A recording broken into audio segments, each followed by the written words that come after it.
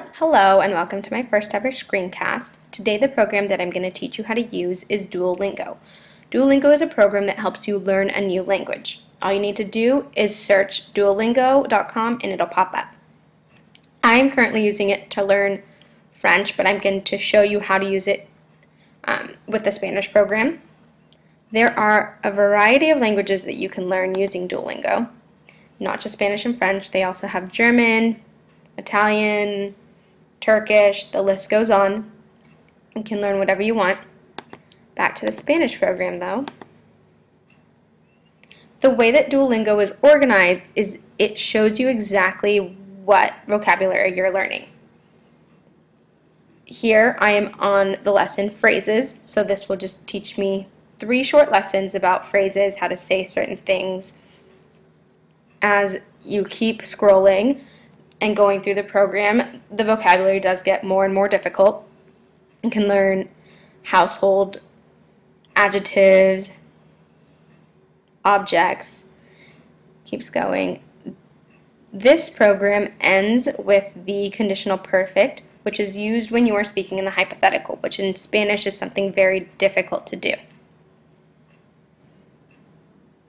Something great to note about Duolingo is that it tells you how long you've been using the program. The greatest thing is it lets you know when you're on fire, which is here, which is how many days streak you've been on. If you've been using it for five days straight, it will reward you more than if you've only used it for two days straight. The more you use it, the more rewards you get. So what we are going to do is actually go into the next lesson. We can see that I'm done with the basics because all of the bars are filled up to the top. So down to phrases. I have completed lesson one as there is a green check mark. I can redo it if I feel like I need to, but I'm going to go on to lesson number two.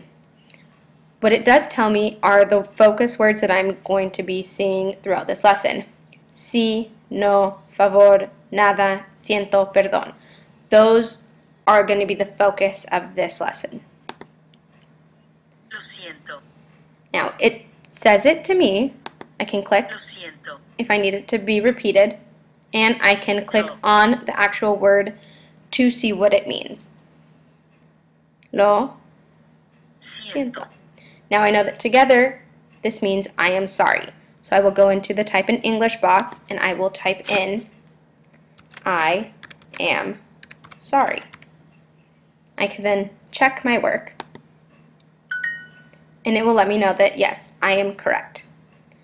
Up here, you will note that there are three hearts. Each time that you get something incorrect, a heart will disappear and once you are out of hearts, you are done with the lesson and you will have to redo it to be able to pass.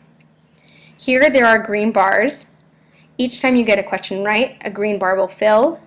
This will continue to happen until you are at the end and have completed the lesson um, well and correctly, and then you may move on. When you are finished with the hearts, that means that you have failed the lesson. I can click continue. No gracias. Again, it says it out loud. I can click on the blue microphone if I need it if I need it to be said again. No gracias. Then I can click on the words No. and tells me exactly what they mean. So I can type in English, no, thank you. And again, I will check my work. It lets me know that I'm correct. The greatest thing about this program is that it is also an app on your phone that you can download and practice anywhere you want, on the go, when you're sitting, waiting in a waiting room or something. Uh, that's where I use it all the time. I can continue Ella no es una niña. and I will have to listen. So it does also work on your listening skills. And if I need it to be said again, I can click on the blue microphone. Ella no es una niña. If I need it to be said in a slower, at a slower pace, I can click on the turtle. Ella no es una niña. So now I've heard it and I will type in Ella no es una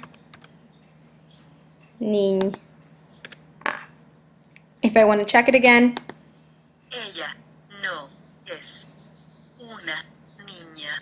Now I can click on check lets me know that I am correct and it will give me the translation. She is not a girl. Since it did not tell you exactly what it meant at the beginning, it'll tell you at the end. This was working on your listening skills. I hope that you have had a great time learning Duolingo. It will teach you speaking, reading, writing, and listening. You will work on all those exercises. Remember that you can do it on your phone. Thank you for listening.